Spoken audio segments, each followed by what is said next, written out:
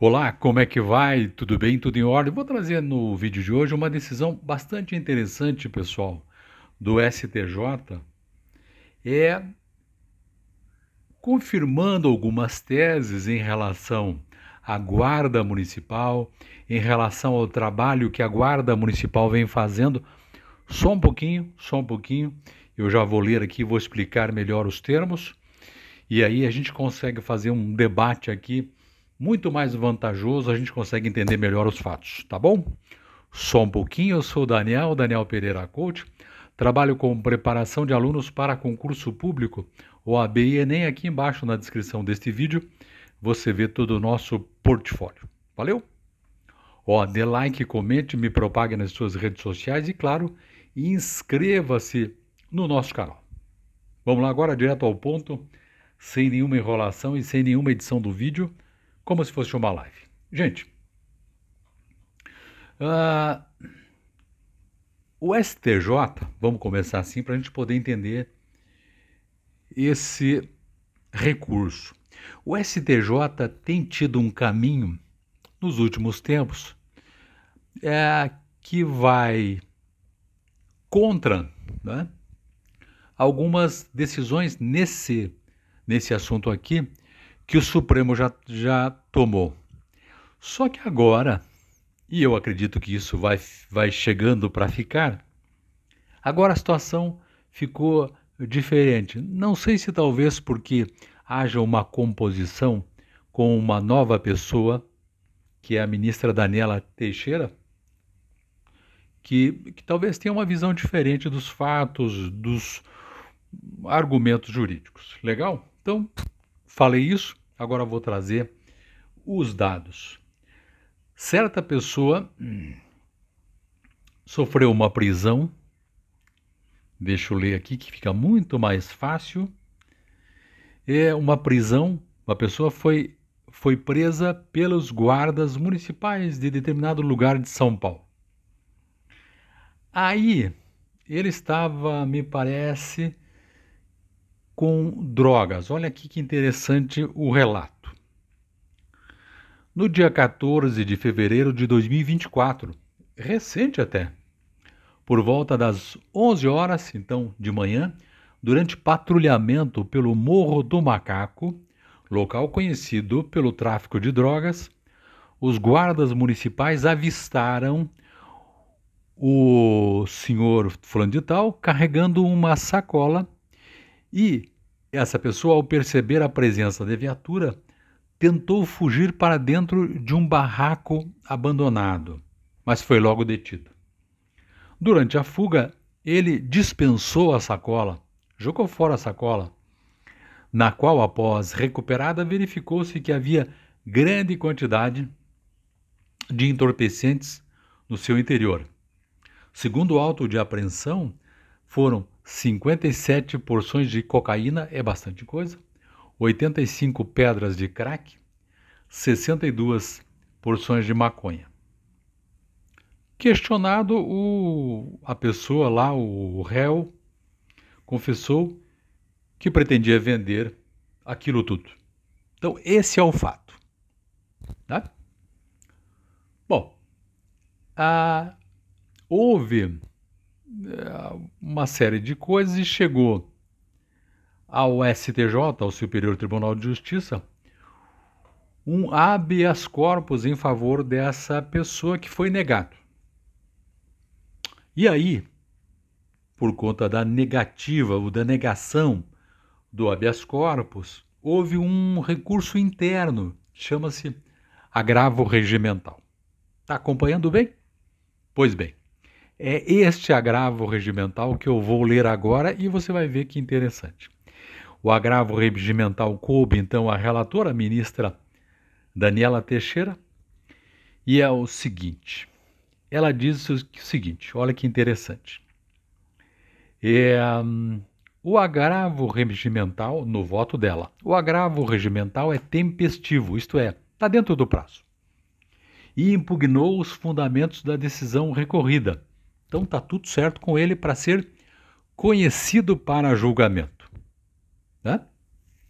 Por outro lado, do exame das razões veiculadas, nota-se que não merecem prosperar, isto é, não trouxe elementos novos, então a decisão no HC, no habeas corpus, fica mantida. Agora vamos ver por quê que fica mantida e o que é que está por trás disso no voto da ministra Daniela. Ela escreveu: com efeito, verifica-se nos autos que a prisão do hora agravante, realizada pelos guardas municipais, é legítima.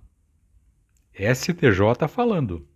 Na medida em que possui natureza de flagrância, é dizer, se qualquer pessoa do povo pode prender alguém em situação de flagrante delito, conforme preceitua o artigo 501, aliás, 301 do Código de Processo Penal, é certo que os guardas municipais também podem efetuar prisões em flagrante, sem que isso corresponda excesso de atribuição.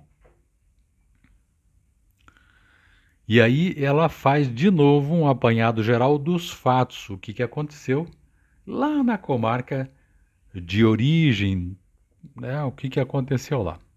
E continua ela dizendo o seguinte: nota-se, portanto, que as circunstâncias do caso concreto, primeira circunstância, agravante que estava em um local conhecido pelo tráfico de drogas. 2 Portava uma sacola e, ao perceber os guardas, dispensou, tentou fugir, revelam situação real que justificou a medida. Ademais, preste atenção no que ela escreveu aqui. Ademais, como é sabido, o Pleno do Supremo Tribunal Federal, no julgamento da DPF 955, afirmou a legalidade da atuação da Guarda Municipal nos casos que tais. Vale conferir. E ela coloca aqui o que, que o tribunal tinha decidido, o Supremo tinha decidido. Tribunal, por maioria, conheceu da arguição, convolou o julgamento da medida cautelar em julgamento definitivo da DPF, no mérito julgou procedente a presente a DPF para nos termos do artigo 144, parágrafo 8 da Constituição, conceder interpretação conforme a Constituição ao artigo 4 da Lei 13.022 de 2014 e ao artigo 9 da Lei 13.675 de 18, declarando inconstitucional todas as interpretações judiciais que excluírem as guardas municipais devidamente criadas e instituídas como integrantes do sistema de segurança pública, tudo nos termos do voto do relator vencidos ministros Edson Fachin, Rosa Weber, presidente, que não conheciam da arguição, e os ministros André Mendonça, Carmen Lúcia e Nunes Marques, que não conheciam da arguição também, e vencidos, vencidos, vencidos, ela trouxe esse aqui, é o voto lá no Supremo.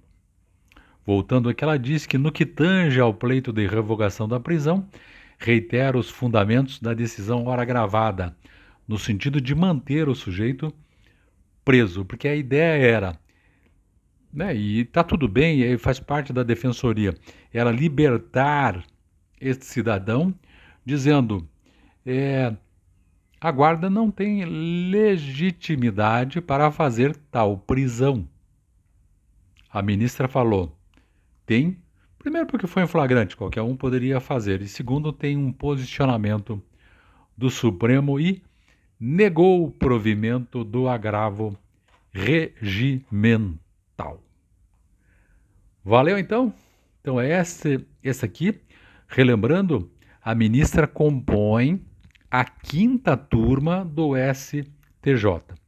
E este julgado foi feito à unanimidade, quer dizer, todos os integrantes da quinta turma votaram com, com, com a ministra.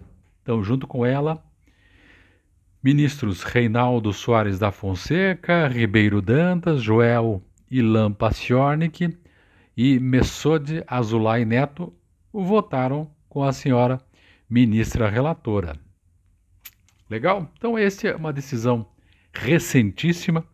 Alguém me pediu para trazer essa decisão que confirma a possibilidade neste caso aqui, do trabalho da Guarda Municipal.